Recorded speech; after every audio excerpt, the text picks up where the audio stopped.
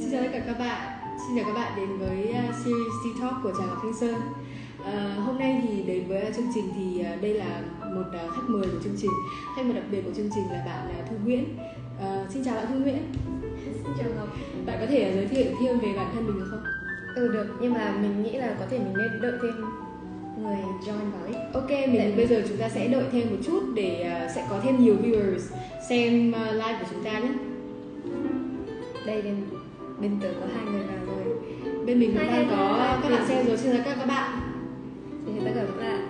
Cảm ơn các bạn đã đến uh, xem chúng mình livestream hôm nay. Để uh, bắt đầu chương trình thì uh, hôm nay mình xin giới thiệu. Đây là hai loại trà mà mình đã chuẩn bị cho khách mời là Thu. Ờ, loại trà đầu tiên đây là loại trà đây là tất cả đều là đây là làm bằng trà đen của trà Ngọc Thanh Sơn cùng với cả nước ờ, đào tươi cùng với thạch được làm từ trà đen. Còn đây là loại trà ô long của trà Ngọc Thanh Sơn cũng là làm bằng hoa quả tươi và thạch từ trà đen. Thì đó chính là mình đang sử dụng cái loại trà này để mình ờ, làm trà để mời cho khách mời. Và đây là loại trà mình làm thạch và cũng là loại trà để mình pha cái cốc trà này. Không biết bạn thu thích uống uh, trà đen hay là trà ô long nhỉ? Mình có thể thử cả hai không? xin mời bạn thử trước. Đây là trà ô long ừ, bạn có thể thử bạn thể thì- khuấy lên để cho nó cái vị đào nó rõ hơn ấy. Ừ, có thể, ờ, có phải là cái thạch này là trà đen không nhỉ? ờ, đúng rồi Ờ, thế thôi mình sẽ lấy cốc này để mình có thể uống thử thử cả hai vị trà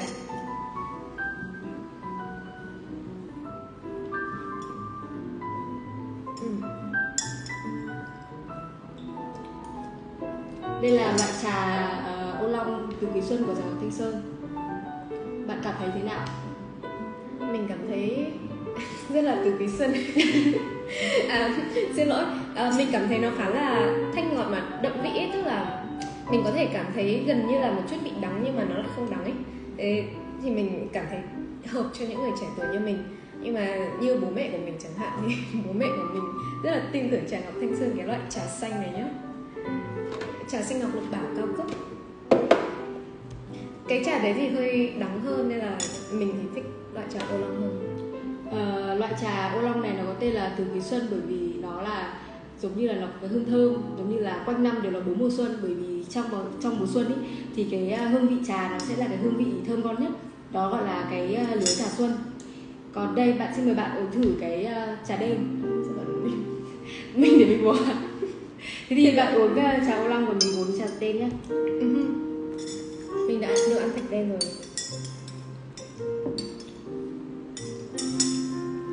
không biết là bạn thu còn jet lag không ạ? Mình biết là bạn vừa mới à, bay về Việt Nam trước đây cách đây khoảng 2 tuần đúng không ạ? 3 tuần. Um, thì mình đã hết jet lag rồi nhưng mà cái dở là tại vì mình uh, vẫn work from home. Mình làm cho công ty ở bên Canada xong rồi uh, mình về Việt Nam làm việc theo múi giờ bên đấy. Thế là buổi đêm mình làm việc còn buổi sáng mình đi chơi. Thế mình không được ngủ. Um, vì bây giờ quen múi giờ ở Việt Nam nên là rất là khó cho mình để mình có thể cân cả hai bên. Mình à, vừa mới thưởng su đấy ạ. Mình vừa mới thưởng su để các bạn vào có thể à, lấy và tương tác su nhé Các bạn có thể xem và lấy su ở trên cả Shopee của trường Ngọc Thanh Sơn nhé các bạn nhé. Hello Bình. Ok, Bye Bình. Cảm ơn Bình đã đến ủng hộ nha. Rồi bây giờ, Maybe là có thể để cho Thu tự giới thiệu về bản thân Để cho khách của Ngọc được biết nha um, Thì hello mọi người Mình là Thu. Hay ở trên YouTube, Instagram, TikTok Thì mình lấy cái tên là Thu Nguyễn Life Designer. Uh, mình ở trên đó thì mình hay nói về du học định cư. Uh, dạo này thì mình nói về cuộc sống ở Canada nên là các bạn nào mà có hứng thú thì có thể follow mình. Um, mình đã sang Canada mình đầu tiên là mình đi Phần Lan để học cử nhân. Rồi sau đó mình đi Canada học thạc sĩ ngành ờ, UX design tức là thiết kế trải nghiệm người dùng ấy. Uh, sau đó bây giờ mình đã đi làm được khoảng 3 năm rồi là mình đang sinh sống định cư bên đấy. À, lúc này thì mình đang về Việt Nam chơi khoảng một tháng. Chào chào các bạn Chào các bạn ở bên Shopee rất là rất là đông vui đúng không ạ? Các bạn đang à, tương tác rất là nhiều với cả các bạn.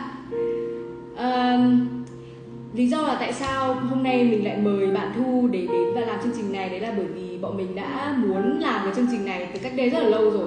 Tức là đây là chương trình mà các bạn Bây giờ bọn mình đang muốn nói về à, chăm sóc sức khỏe tâm lý.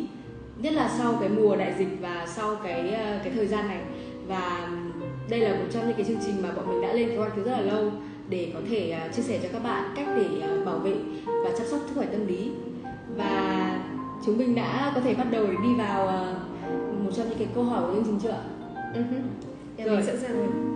Bây giờ chương trình đã chuẩn bị uh, hai cái này tức là khi mà một trong hai một trong hai cái này tức là uh, bây giờ chương trình sẽ hỏi thu một số câu hỏi và khi mà cái câu hỏi đó các bạn thu nếu mà thấy đồng ý thì thu có thể giơ cái bảng này lên. Và nếu mà thu không đồng ý và thu nghĩ là chưa đúng lắm thì thu có thể uh, giơ một cái bảng này lên. Tức là cái điều này cần phải suy nghĩ thêm. Và hôm nay mình sẽ xin trao cho thu hai cái bảng này để thu có thể uh, trả lời tương hỏi. tác và trả lời câu hỏi của chương trình nhé. Chào các bạn, à, xin cảm ơn các bạn. bạn có bật chat không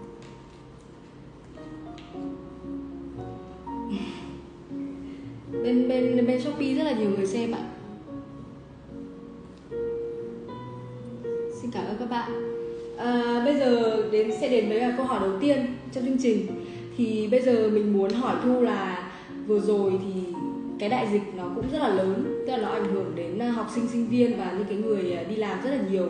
Thì theo Thu là nó có ảnh hưởng đến cả cái sự à, khó khăn trong cái việc mà tìm việc tìm việc cho mọi người không? Tức là cái cơ hội tìm việc làm ấy cho mọi người sau cái đại dịch này như thế nào? Bạn có nghĩ bị ảnh hưởng rất nhiều không? Mình thì à, mình xin lựa chọn là relax là cần suy nghĩ thêm là tại vì mình thấy thực ra đại dịch thì có ảnh hưởng cả mặt tích cực lẫn tiêu cực.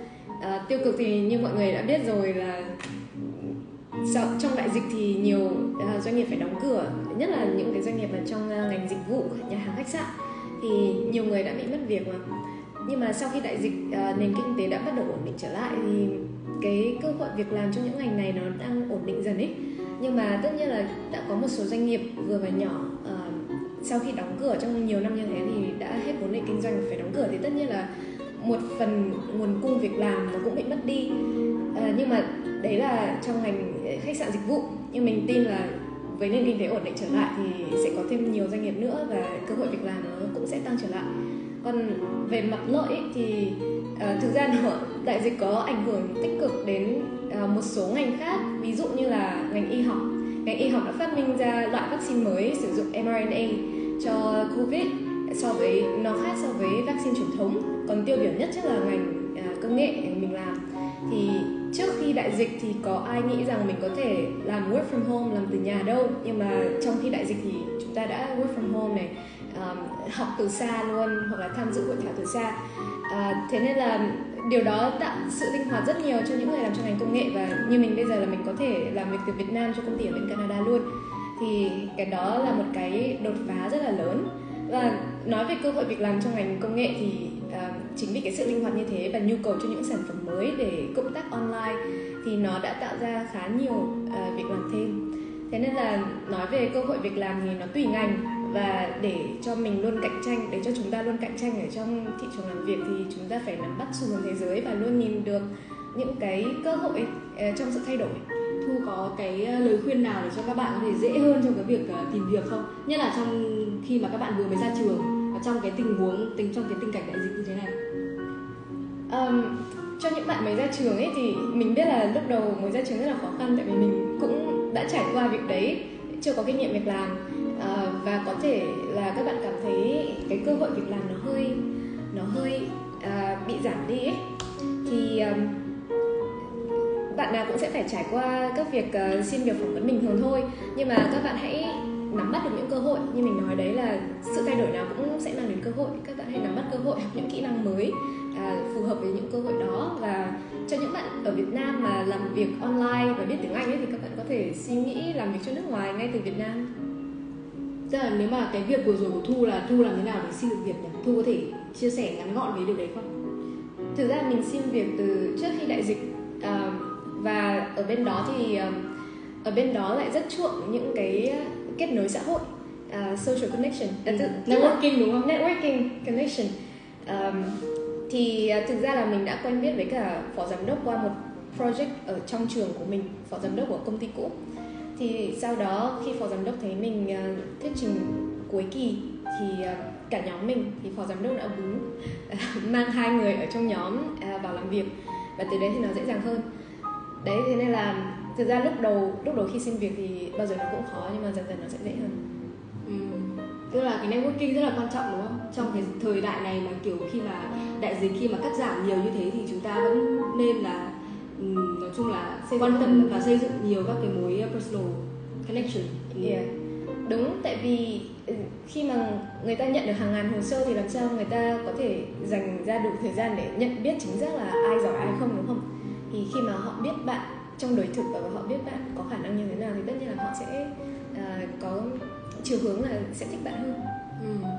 Ờ, đến đến với câu hỏi thứ hai của chương trình thì uh, chương trình xin hỏi là cái uh, cái sự mà inflation cái sự uh, Lạm phát. cái sự lạm phát có bị ảnh hưởng à, thu có bị ảnh hưởng nhiều bởi cái sự lạm phát mà hiện giờ không? Ừ, may mắn có thể sử dụng à, cái bảng để à ừ đây à không đây là cần suy nghĩ thêm là tại vì à, mình ở bên Canada ấy thì mình may mắn là mình không bị ảnh hưởng quá nhiều. Cái sự ảnh hưởng của mình ờ, đến đến mình chỉ là kiểu giá gạo giá đồ trong siêu thị hay là giá nhà hàng tăng thôi. Còn uh, ví dụ như những người mà lái xe hay là đang mua nhà ấy, thì kiểu cũng hơi lao đao tại vì giá xăng tăng quá mà bên đấy thì chủ yếu đi xe ô tô ấy. Mà người ta cũng ở xa đô thị để tiết kiệm tiền nhà nữa. Thế nên uh, việc đi xe có khi lại trở thành gánh nặng. Còn uh, nhà ở bên đấy thì giá đã tăng trong trong kỳ đại dịch giá tăng ngất ngờ và bây giờ thì uh, chững lại tại vì uh, vì lạm phát nên là lãi suất nhà ở bên đấy khá là cao ấy thế thì những người mà lái xe và đang mua nhà thì cũng bị ảnh hưởng khá nhiều. Nhưng mà riêng mình thì không tại vì mình chưa có mấy nhu cầu đấy. Ừ. thế theo bạn là khi mà cái à, sự lạm phát như thế này thì bạn nghĩ là ở Việt Nam nó cũng có bị ảnh hưởng nhiều không?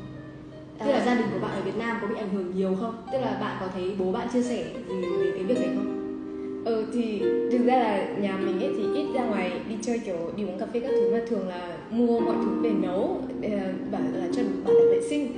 Thì ờ, mua mọi thứ về nấu thì từng con gà từng bó rau nó cũng tăng lên khoảng vài nghìn hay vài chục nghìn ấy. Ờm, thì cái điều đấy thì ảnh hưởng đến bố mẹ mình khá là nặng. Uh, tại vì thu nhập của nhà mình không phải tính là kiểu có thể đi du lịch thế giới kiểu đấy nhưng mà ờ, vì ngọc trẻ như thế này là bạn có thể chia sẻ một chút ờ, về lối sống kiểu ờ, có thể là bạn bạn có thể bị ảnh hưởng bởi lạm phát như thế nào? Ờ, mình thấy thì là kiểu ở Việt Nam thì rõ ràng là cái sự lạm phát nó đang ảnh hưởng rất là rõ ràng luôn. Đến cả một cái cốc Highland đúng không ạ? Vừa rồi là chúng ta đã thấy là nó đã tăng đến lên đến 18 tức là nó rất là tăng giá rất là nhanh mọi thứ thực sự nó rất là chóng mặt mà xăng thì các bạn cũng biết rồi nên là giá xăng cũng tăng theo gọi là từng giây từng ngày luôn. Nếu mà bây giờ đi đâu chắc là cũng phải ờ, tính toán kỹ xem là đi có hết nhiều tiền xăng hay không. Đấy thì chọn ờ, con đường ngắn nhất. đấy thì nó cũng sẽ ảnh hưởng đến khá nhiều đến cả cái ờ, thói quen F&B của mình. Tức là kiểu ờ, đi cà phê hay là mình bình thường là mình đi uống cà phê hay là mình mua cà phê về nhà hay là mình mua trà sữa ở ngoài hay là mình mua trà về pha thì chắc chắn là nó cũng sẽ ảnh hưởng đến cái suy nghĩ và cái cân đo của mình và thậm chí là những cái những người bạn của mình nữa. Tức là ai cũng sẽ bị ảnh hưởng và nhất là cái giới học sinh và sinh viên và sinh nhân văn phòng. Tức là đến khoảng 50 60 nghìn một cốc nước mà ngày nào cũng uống thì đúng là cũng phải suy nghĩ đúng không ạ? Ừ, đó. Thì ở bên Canada thì bạn có hay uống trà không? Tức là bạn có work from home bạn có cái ờ, thói quen là bạn mua trà về bạn uống không? Ừ, ờ, chuẩn đấy. Mình có mua trà về uống và mình uh, sưu tầm rất là nhiều loại trà ở bên đấy mà mình ở bên đấy chủ yếu là mình uống trà sữa với cả trà hoa trà thảo mộc ấy. Ờ, tại vì mình thích cái mùi vị thanh ngọt của trà thảo mộc. Ờ, và đấy vấn đề nguyên nhân chính là do mình work from home và cái hồi đại dịch thì không không được ra khỏi nhà nhiều ấy và những cái cửa hàng trà sữa thì nó cũng đóng cửa. Thế là mình yeah, mình có mua trà về uống tiết kiệm được khối tiền. Tức là cái trà bên bạn đấy là trà gì nhỉ? Ờ, trà mình uống thì là Davis tea Davis tea à? Thế thì bạn có thấy là cái loại bạn đã mình mình cùng bạn là cũng đã đi thử một số các loại uh, chuỗi trà ở Hà Nội rồi các bạn ạ. Tức là có cái chuỗi trà nào thì bọn mình cũng đều đã gần như là đã đi thử hết rồi.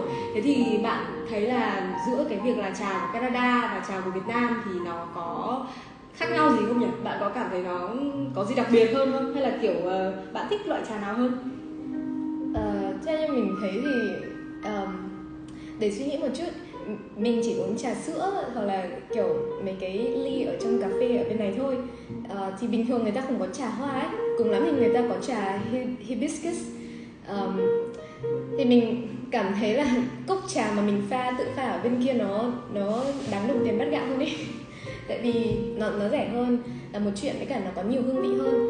Còn trà ở Việt Nam thì mình thấy nếu mà uống ở cà phê thì uh, các bạn có thể expect những cái cốc trà bình thường ấy nhưng mà ví dụ như kiểu các bạn là người giống như bố mẹ mình là thích cái trà xanh uh, đậm vị truyền thống thì uh, các bạn nên mua trà về pha hoặc trà phúc long uh, bạn bạn có thấy kiểu cái trà hôm nay bạn uống thì bạn thấy là trà này với trà Dynasty thì nó khác gì nhau không?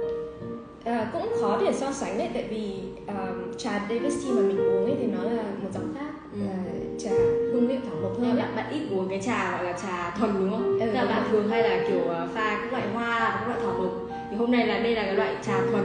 Đây là trà đây là trà ô long từ quý xuân thuần. Ừ. và đây là loại trà đen thuần. Khi mà mình cho thêm CEO thì nó sẽ rõ vị hơn ấy bởi vì nhiều khi nếu mà cho các nhiều các loại hoa và thảo mộc quá thì không phải ai cũng uống được. Thì tất nhiên là sẽ có người thích nhưng mà kiểu ờ, có rất nhiều ờ, những người mà người ta hơi cao tuổi một chút ý thì người ta lại thích uống những cái loại trà đó. Thực sự là người Việt Nam mình có cái gu rất là rất là mạnh. Ừ. kể cả là trà hay là cà phê thì cái loại cà phê của Việt Nam cái loại mà arabica ấy, à mình cái loại robusta ấy, thì nó cũng mạnh hơn rất là nhiều so với cả cái loại trà à, cái loại cà phê của thế giới ừ. thì trà của Việt Nam cũng là một cái loại trà mà mình cũng hay uống loại thuần chứ mình không có hay pha nhiều các loại khác vào ừ. nên là nó rất là nguyên chất và mình ừ. có thể hưởng cái gì kiểu thưởng thức được cái vị của nó một cách nguyên bản nhất ừ. đó thì uh, cái loại mà hai loại là trà Việt Nam và trà Canada thì không biết là tại sao bạn lại không uống thử cái loại trà thuần như kiểu ở, ở Starbucks có ở Canada đúng không? Ừ. Bạn có hay uống không? Thế bạn hay gọi cái loại gì? Mình lại không hay uống ở Starbucks mà ở Starbucks mình chỉ uống cái matcha frappuccino thôi uống matcha cũng là trà xanh nhưng mà cũng có caffeine là được rồi ừ đúng rồi đúng rồi à, thực ra tại vì bên đấy mình tự nhiên khám phá ra trà hoa thảo mộc à, tại vì nó nó dễ tìm ấy nó dễ mua nên là mình với nữ giới đúng không? Ừ đúng rồi. Thế còn bạn trai bạn có hay uống các loại trà không? Không. Cũng gọi uống kiểu đấy ừ um, thực ra thì bọn mình hay uống trà sữa thì trong mình phải nói là trà sữa ở bên đấy thì nó có thể hơi khác hơn so với trà sữa ở bên này. Uh, là nó nó ít cái vị trà truyền thống hơn ấy tức là nó cái vị trà nó không đặc nó không bị đắng. Ừ. còn như hôm trước mình đi uống ở phúc long thì thấy là vị trà đấy rất là đắng kể cả khi đã Chắc có do do mình chưa quen. Ừ. mình chưa quen với cái khẩu vị đấy. Ừ đúng rồi. Cho nên phúc long thì cũng khá là kiểu nổi tiếng ấy. Ừ. chắc là lâu rồi bạn không không mình mình biết đấy là đặc sản sài gòn nhưng mà kiểu uh, mọi mọi người thì thích lắm nhưng mà riêng mình thì thấy là nó hơi đắng tại vì còn mình thì uống phúc long mình lại thích tức là cái trà sữa của phúc long mình lại thích. À. nhưng mà mình thích pha ở nhà hơn tại vì pha ở nhà thì đấy nó tiết kiệm hơn và nó thơm hơn và mình không cần phải đợi là 11 giờ đêm. Thì mình thích uống trà sữa thì mình không cần phải đi ra ngoài mình pha. Và thực ra là bây giờ mình thích uống cái loại trà thuần hơn ừ. là uống trà sữa. Mình chắc là cũng uh, tưởng như là tuổi nó cũng thay đổi cho nên là cái vị nó cũng thay đổi. Ừ. à, các bạn nhớ vào shopee để lấy xu nhá. Bây giờ mình sẽ uh, tung xu lần thứ hai nhá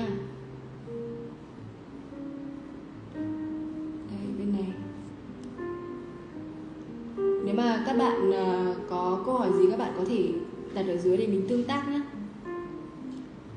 Lần đầu livestream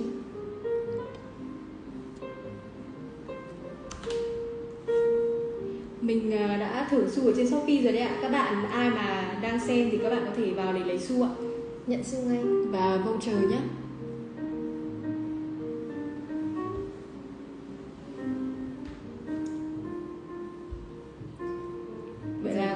qua được nửa chương trình rồi đấy. Khá là nhanh đây là lần đầu tiên là bọn mình livestream nên là cũng ờ, hơi có một chút sơ suất một chút các bạn có thể ờ, thông cảm. Ừ có sự cố gì mong các bạn thông cảm. Ừ. nếu mà bọn mình có lỡ mất cái comment của các bạn thì ờ, bọn mình sẽ dành thời gian ở cuối để các bạn nhớ để vào tương tác và lấy xu nhé vâng xin cảm ơn. À, bên shopee nói chung là cũng khá là sôi động. Ừ rất là sôi động. Các bạn đi vào lấy xu rất là sôi động xin cảm ơn các bạn. Xin chào. Phải có phần thưởng. Các bạn xin mời các bạn uống trà. Ừ. Uống trà xem. Đây instagram của mình thì mọi người chỉ có xem thôi nhưng ừ. cũng được rồi.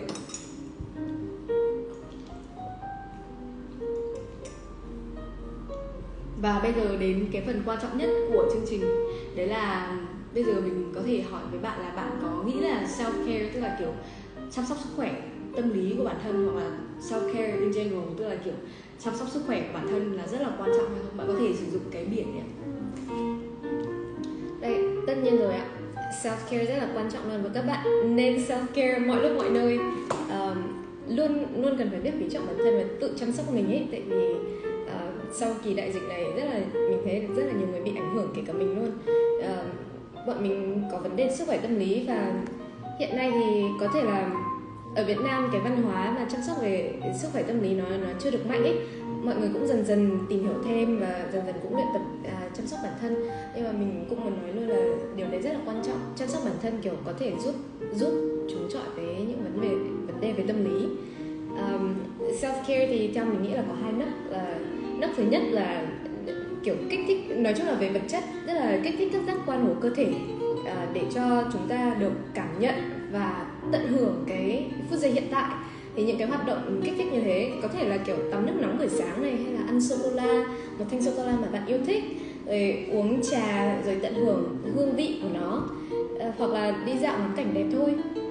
À, còn cái nấc thứ hai ấy, thì là về tâm lý. Ví dụ như bạn cảm thấy à, tự ti về bản thân chẳng hạn cảm thấy thua kém so với mọi người hay là bị stress vì công việc về áp lực học hành hay là kiểu cảm thấy buồn vì xung quanh mình không có không mình cảm thấy là xung quanh mình không có ai yêu thương mình chẳng hạn. Đấy là mình cảm thấy thế. À, chứ không phải thực sự thật nó là như thế. Nhưng tất nhiên đấy cũng là nỗi buồn đúng không? Nỗi buồn để lâu mà không chữa thì nó thành um, trầm cảm.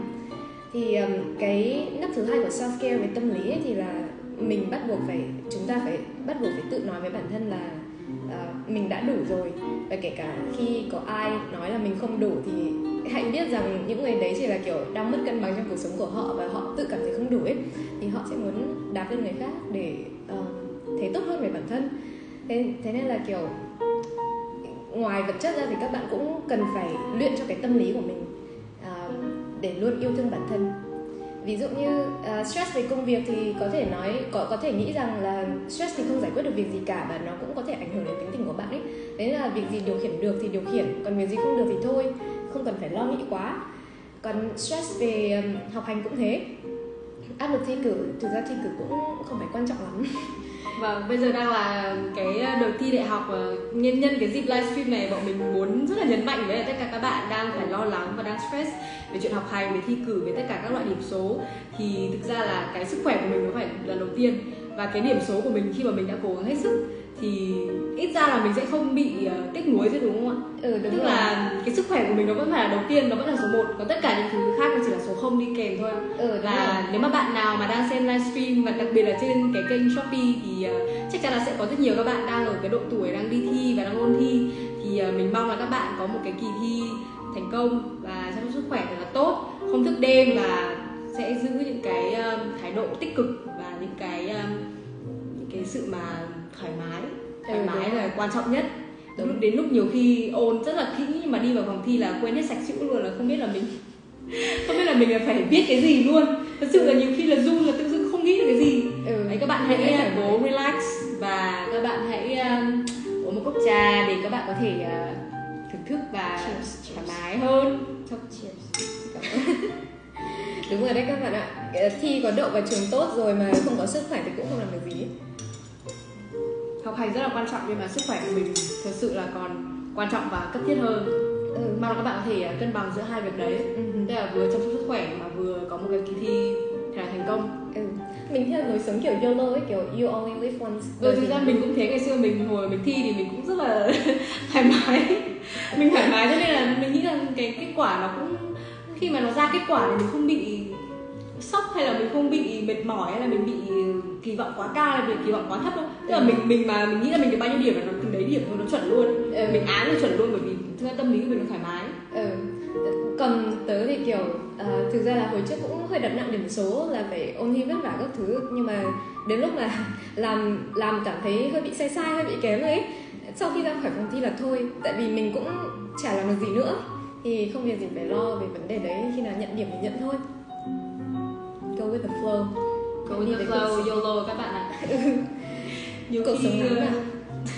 không thực ra thì thì cũng rất quan trọng đấy các bạn chứ đừng có yolo quá như là như là host à, như là guest của chương trình nói thật sự là không cần đến mức yolo như thế nhưng mà chúng ta vẫn phải có sự cân bằng. Và mình xin chúc các bạn là xem livestream vừa được lấy xu vừa thoải mái và vừa may mắn trong cái kỳ thi tiếp theo. Ừ, chúc các bạn may mắn.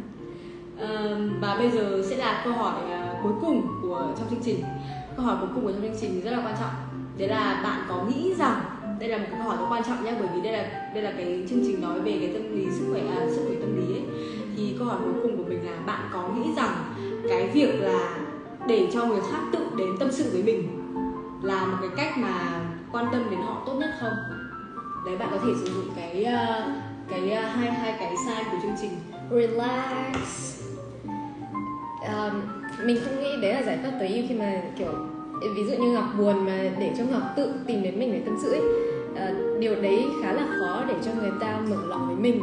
À, tại vì ví dụ như các bạn khi mà các bạn có vấn đề và kiểu đối với một người hoàn toàn xa lạ thì các bạn sẽ không thể nào mà mở mồm ra để nói về vấn đề của mình với người đó đúng không? Còn ví dụ như bạn bè người thân bình thường thôi ấy, à, những người thân nhất với mình nhưng nếu nhưng nếu như mình cảm thấy không an toàn để nói cái chuyện đấy ra thì tất nhiên là mình sẽ không nói rồi. Thế nên là mình nghĩ là cái việc lắng nghe và tạo được cái môi trường an toàn không phán xét thì mới là cái điều quan trọng nhất trong việc quan tâm đến sức khỏe tâm lý của người xung quanh mình. Um, tạo môi trường an toàn thì là không phán xét rồi. Ví dụ như um, phải bỏ những cái câu mà như kiểu tại sao mẹ phải buồn như thế? Chuyện này có gì đâu mà buồn? Hay là tại sao con suốt ngày thế này con suốt ngày thế kia tại sao em suốt ngày cằn nhằn anh? Những cái câu hỏi đấy thực ra chỉ chỉ thể hiện được cái sự ích kỷ của cái người hỏi thôi. Là kiểu mày làm như thế là mày đang làm tao hơi bị mệt đấy. Chứ không hề quan tâm đến cái người kia đúng không? Thì uh, khi mà mình muốn tạo môi trường an toàn thì mình có thể hỏi những cái câu hỏi mở như kiểu uh, dạo này bạn thấy sao rồi? Dạo này con thấy sao rồi? Uh, dạo này em có ổn không? Uh, anh thấy em dạo này hơi uh, bực bội nhiều ấy. Nguyên nhân là gì có phải tại anh không? Kiểu đấy. Um, đấy là điều đầu tiên là tạo môi trường an toàn. Và khi mà người ta đã bắt đầu mở lòng ra nói rồi thì phải lắng nghe thôi.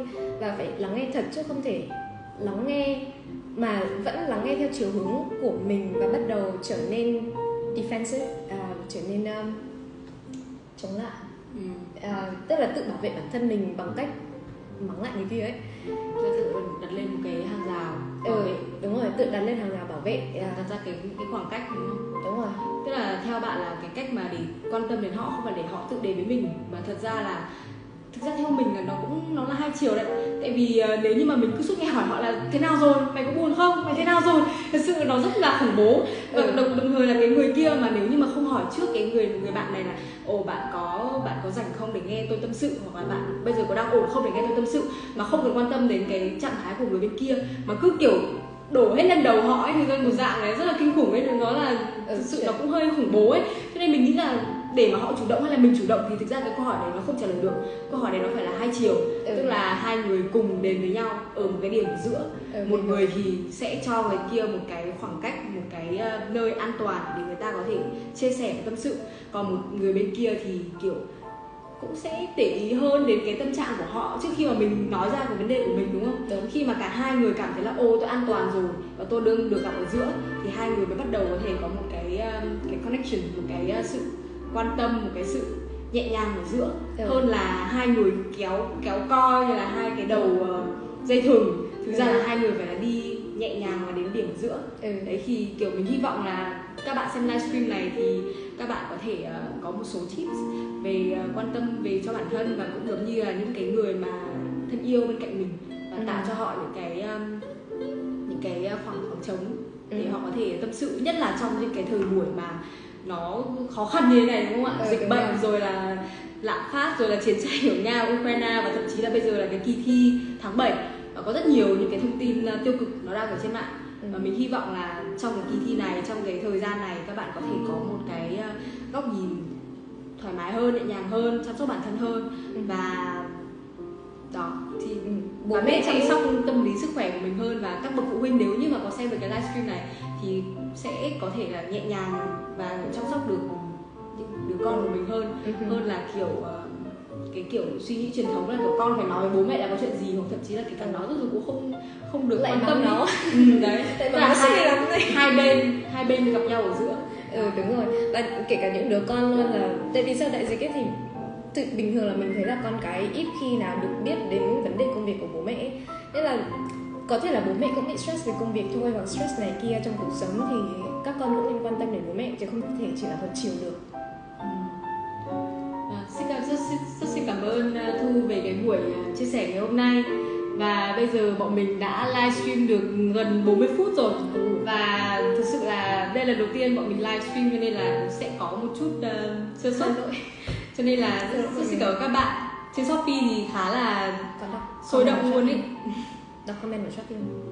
Ừ, không không cần đâu tại vì các bạn ấy đang kiểu comment thôi chứ cũng không không có câu hỏi gì. Ừ. Nếu mà chắc là lần sau phải phải cho các bạn giao lưu thêm nữa ở dưới ở cuối. Ừ đúng rồi. Chắc phải có thêm một người nữa. Làm moderator cho mình. Thế, thế thôi mình mọi đến hôm nay là livestream đã kết thúc đây là buổi livestream đầu tiên. Xin tất cả xin cảm ơn và hẹn gặp lại tất cả các bạn trong những cái TikTok series tiếp theo. Và mình mong là hôm nay những bạn ở trên uh, platform của Shopee là đã lấy đủ xu. Mình thấy các bạn lấy rất là nhanh.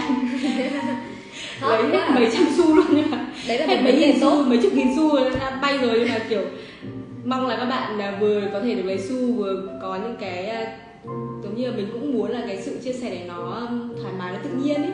Hơn là giống như là một cái buổi thời sự. Các bạn có thể xu các bạn có thể mua trà để uống các bạn vừa có thể à, nghe về những cái à, chủ đề quan trọng trong cuộc đời của mình. Đúng rồi. Các bạn đây là à, xin nói với mọi người đây là ờ, buổi đầu tiên trong series Tea Talk đúng không nhỉ? Nếu mà sau này mình tìm được uh, host thì mình à mình được tìm được guest thì mình sẽ làm những cái buổi tiếp theo. Nếu mà ai mà muốn trở thành uh, guest của mình thì các bạn có thể uh, nhắn tin riêng trong Shopee hoặc Instagram hoặc là Facebook của Trà Ngọc Thanh Sơn thì uh, tất cả đều rất là open và chờ đợi các bạn để các bạn có thể lên để chia sẻ những cái vấn đề mà các bạn muốn. Đây là cái series đặc biệt là TikTok series. Vâng xin tất cả các bạn. Thu rất là hân hạnh được mở đầu series này nha. Cảm ơn mọi người ở bên ờ, Instagram của Thu luôn. Đã đến theo dõi. Xin chào các bạn. Cảm ơn các bạn rất nhiều. Bye bye